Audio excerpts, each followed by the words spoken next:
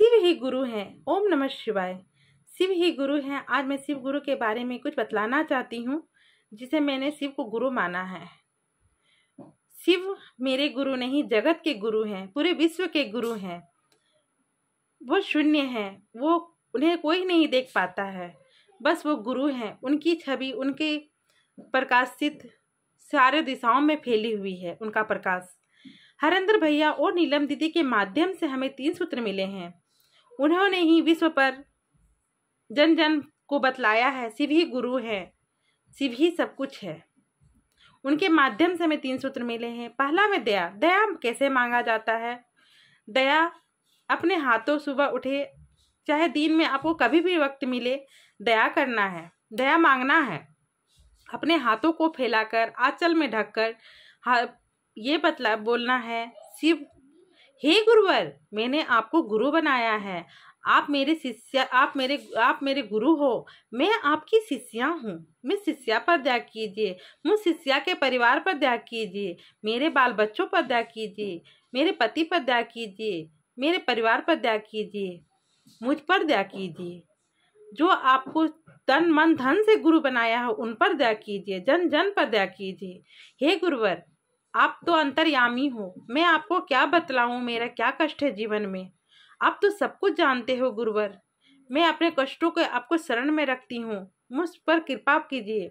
मैं तो पापी हूँ, अहंकारी हूँ, क्रोधी हूँ, लोभी हूँ, खल हूँ, कामनी हूँ। हमारे अंदर बहुत सारे पाप हैं। हम पापी हैं। हम पर दया कीजिए, गुरुवर। हम पर दया कीजिए। मुझ पापन पर दया कीजिए।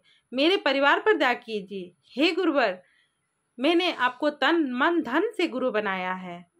मुझ पर कृपा कीजिए। इतना बोलकर आप अपने गुरु को सारी चीज़ों को, कष्टों को बोल सकते हो।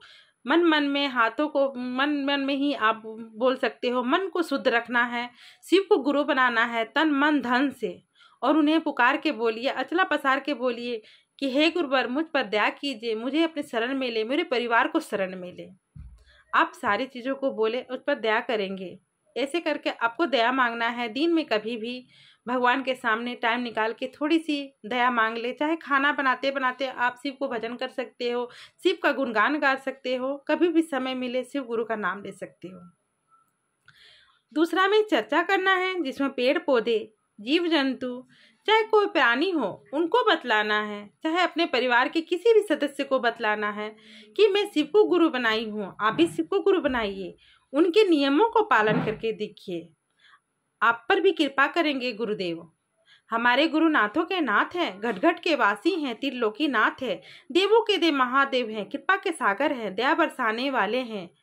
उनकी दयालुता अपार है। वो सब पर दया करते हैं।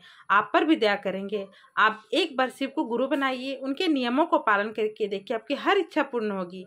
हमारे गुरु धन, दौलत कुछ भी नहीं लेते हैं, बस प्यार के भूखे हैं। हमारे गुरु को आप गुरु बना के देखिए। इस तरह आपको बतलाना है, चर्चा करना है। तीसरा में एक सौ नमन करना है, जो आप रुद्रमाला, मन की माला, कर की माला, अपने हाथों की माला से आप नमः शिवाय नमः शिवाय नमः शिवाय नमः शिवाय नमः शिवाय नमः शिवाय का आप स्मरण कर सकते हो। जब भी आपके पास समय मिले, आप अपने हाथों से 108 बार गिन सकते हो, कर की माला से गिन सकते हो या रुद्राक्ष की माला से।